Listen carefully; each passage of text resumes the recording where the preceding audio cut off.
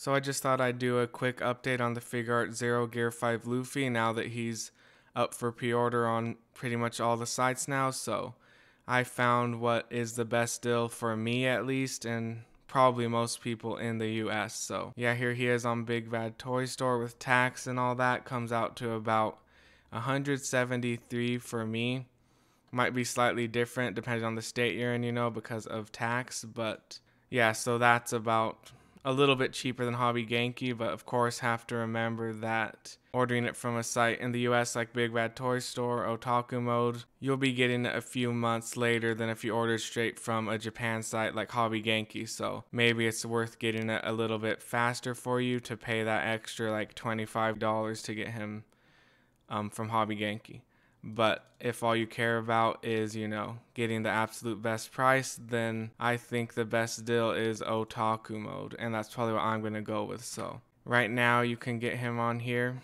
And this would be my price for him. Look at so if I get Luffy plus this little cheap Marco, I could get him for 169 on Otaku mode. So that beats Big Bad Toy Store's price plus I'm getting an extra figure. And you do have to spend about 150, I think it is, yeah, 150 to get free shipping on Otaku mode. So, say I didn't have Marco in this cart, then Luffy would have shipping and he'd be more expensive. So, it's cheaper to put something like this Marco figure with the Luffy than to buy the Luffy alone. I think this is already a better deal than Big Bad Toy Store. Plus, you get the cash back here $27 cash back so that beats it pretty good. And then you can also do this which is probably what I'm going to be doing right here.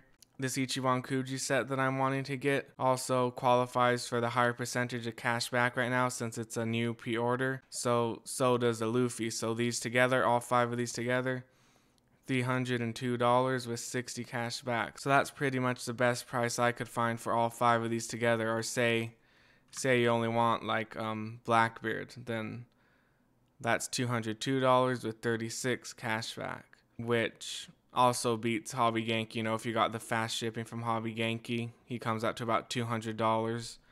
So yeah, if you're patient and just want to save money, then I'd say this is the best choice. And I'm probably going to end up doing this but yeah, the extra cash back for the Ichiban Kuji set ends tonight. So I'm going to try to get this video out early today for anyone that might be interested in this also. But yeah, I got to decide for myself. Probably going to do it, but part of me does want to pay a little more to get him earlier from Hobby Genki. But look at that price difference. I'd be paying just 144 for him here.